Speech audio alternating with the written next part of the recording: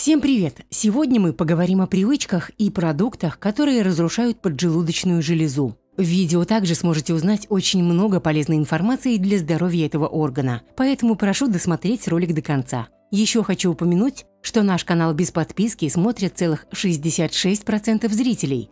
Прошу тех, кто не подписан на канал, но смотрит его, ценить работу команды, подписаться и нажать на колокольчик. Сделайте так, чтобы кнопка «Подписаться» превратилась в «Вы подписанный». Заранее спасибо и приятного просмотра. Одним из важных органов в пищеварительной системе является поджелудочная железа. Она выполняет множество функций в организме. Железа участвует в выработке ферментов, необходимых для расщепления белков, жиров и углеводов в кишечнике. Также этот орган влияет на гормональный обмен, так как выделяет инсулин и глюкагон. Инсулин необходим для проникновения глюкозы внутрь клетки. Это источник энергии для всех внутренних органов. Глюкагон, наоборот, способствует расщеплению веществ в печени и мышцах с целью образования глюкозы. Поджелудочная железа работает каждый прием пищи и часто страдает от различных заболеваний.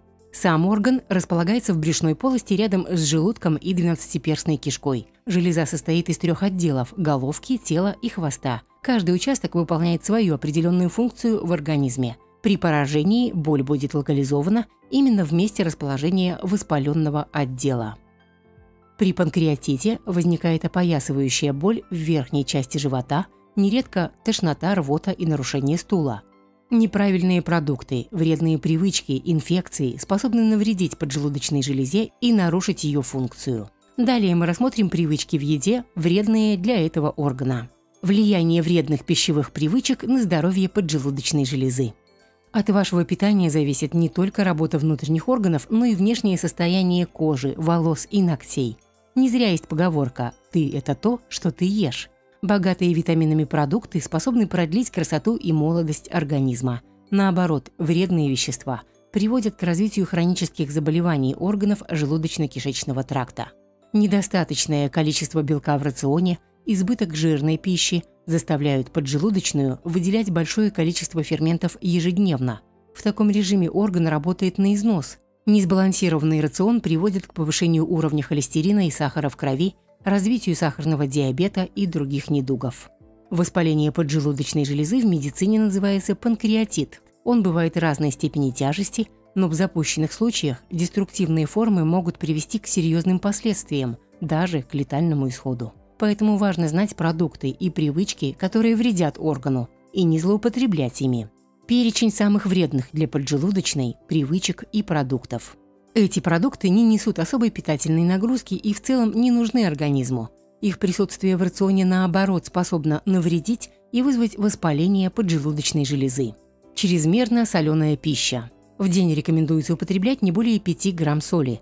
Ее избыток нарушает работу пищеварительной и сердечно-сосудистой систем. Натрий, поступающий в клетки в большом количестве, притягивает за собой воду, что вызывает отеки. Увеличенные клетки сдавливают сосуды и нервные окончания, провоцируя боль в животе, а также ухудшение кровоснабжения органа. Недостаточное поступление питательных веществ провоцирует воспаление железы. Слишком наваристые бульоны, супы с большим количеством мяса, холодец или заливное – любимые блюда многих мужчин. Однако такое питание зачастую вызывает нарушение функции поджелудочной железы. В этих блюдах много жира, который провоцирует синтез пищеварительных ферментов в большом количестве. Не стоит употреблять слишком наваристые бульоны чаще двух-трех раз в неделю. Для разнообразия готовьте овощные супы, которые богаты витаминами и клетчаткой. Кофе. Продукт спорный, так как сам по себе кофе не вредит поджелудочной железе.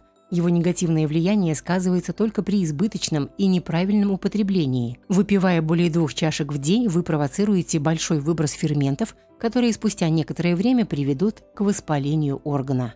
Рекомендуется пить кофе после еды, а не на голодный желудок. Если напиток попадает в пустой желудок, то массовый выброс ферментов вместо расщепления пищи окажет раздражающее действие на слизистую оболочку. Добавление майонеза в салаты – этот соус считается одним из лидеров по содержанию вредных жиров, консервантов, уксуса и нежелательных химических соединений. Его употребление опасно не только для поджелудочной, но и для сердечно-сосудистой системы. У людей, которые регулярно едят майонез, растет уровень холестерина в крови, что приводит к атеросклерозу и другим болезням. По этой причине употребление майонеза необходимо строго контролировать. Можно позволить себе салаты с майонезной заправкой на праздничном столе, но не на повседневной основе. Кондитерские изделия. Сладости, выпечка и аналогичная продукция опасны для поджелудочной железы. Поступление большого количества сахара требует интенсивной выработки инсулина. Это повышает нагрузку на железу и заставляет ее работать в усиленном режиме. Спустя какое-то время поджелудочная начнет не справляться с выполнением своих функций. Не страшно, если вы съедите кусочек горького шоколада с чаем. Однако, если каждый прием пищи на десерт у вас пирожное или торт, то избыток углеводов отрицательно повлияет на работу органа. Наиболее опасно для желудочно-кишечного тракта сочетание простых углеводов и жиров. Избыток специй в блюде. Слишком острые или пряные блюда негативно отражаются на здоровье поджелудочной. В ответ на такую стимуляцию выделяется панкреатический сок с ферментами, что заставляет орган работать в полную силу. Если в день таких приемов пищи будет много, то железа не сможет справиться с такой нагрузкой, что приведет к ее воспалению. Газированные напитки – Поджелудочная железа вообще не любит сладкие продукты.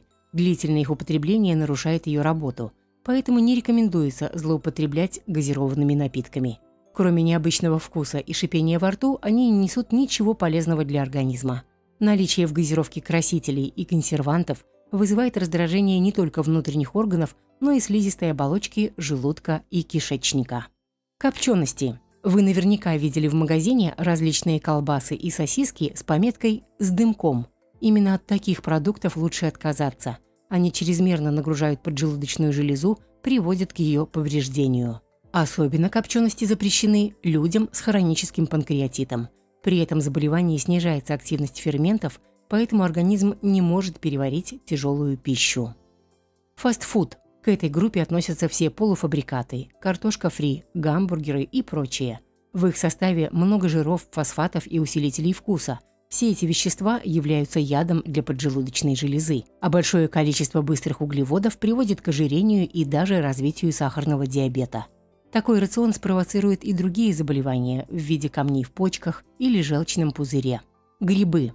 Этот продукт считается достаточно тяжелым для переваривания – Грибы рекомендуется употреблять в небольших количествах в отварном виде. В других случаях содержащийся в грибах хитин часто провоцирует вздутие живота и тяжесть. Еще одна опасность в том, что грибы накапливают вредные химические соединения, которые вместе с этим блюдом поступают в организм.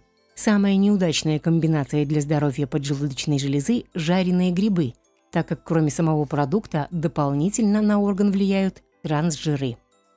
Кислые ягоды и фрукты. Трудно представить себе правильное питание без ягод и фруктов. На самом деле они не запрещены при хроническом панкреатите, но стоит ограничить их количество, чтобы не спровоцировать ухудшение самочувствия. Здоровым людям кислые фрукты также рекомендуется контролировать. Они вызывают раздражение слизистой оболочки, желудка и кишечника. Жесткие плоды содержат трудноперевариваемую клетчатку, поэтому усложняют работу поджелудочной. Обычно это недозрелые фрукты, яблоки, груши. Грейпфрут, апельсин стимулируют значительную выработку панкреатического сока, поэтому их рекомендуется употреблять не чаще 2-3 раз в неделю. Лимон при хроническом панкреатите лучше исключить полностью, а здоровым людям можно съедать не более двух колечек в день. Чеснок. Овощ является стимулятором секреторной функции органов пищеварительного тракта. Несмотря на все полезные свойства этого растения, его влияние на поджелудочную неоднозначно. Людям без проблем с этих органов рекомендуется ограничить прием чеснока до 2-3 зубчиков в день. При остром панкреатите есть его категорически запрещено. Вне обострения чеснок можно включать в рацион в минимальных количествах, помня о том, что он может спровоцировать воспаление железы. С другой стороны, полностью отказываться от овоща не стоит. Он нормализует пищеварение, секрецию соков, способствует очищению печени и кишечника, чистит сосуды и укрепляет иммунитет. Вредные привычки, не связанные с продуктами питания. Зачастую даже при правильном сбалансированном рационе возникает тяжесть или боль в области поджелудочной. Причиной становятся наши вредные привычки, которые формируют быстрый темп жизни и постоянный дефицит времени. К воспалению органа приводят редкие приемы пищи с большими порциями, перекусы на бегу, прием пищи по ночам, слишком горячая или холодная еда, стрессы. Нервное перенапряжение занимает отдельную позицию в этом списке. Нередко из-за стресса люди перестают есть или наоборот чрезмерно переедают. Кроме того, длительная нервозность снижает иммунитет, делает поджелудочную железу более восприимчивой к различным инфекциям. Здоровье органа в ваших руках. Оно во многом зависит от правильного питания, отсутствия вредных привычек. Не злоупотребляйте вышеперечисленными продуктами, чтобы не перегружать орган. Тогда железа будет здоровой, а пищеварительный тракт будет функционировать полноценно. Это избавит вас от многих недугов в виде панкреатита, гастрита или желчно-каменной болезни. Старайтесь придерживаться сбалансированного питания с грамотным распределением белков, жиров и углеводов. Ведите активный образ жизни. Это улучшает кровообращение, питание и заживление внутренних органов. На этом закончим ролик. На канале можете найти много интересных видео о пользе и вреде овощей и фруктов, а также о болезнях и способах их лечения. Поэтому прошу не забыть подписаться на канал и нажать на колокольчик. Еще буду благодарна, если поставите лайк и поделитесь роликом с родными и близкими. С вами был канал «Человеческий организм». До новых встреч!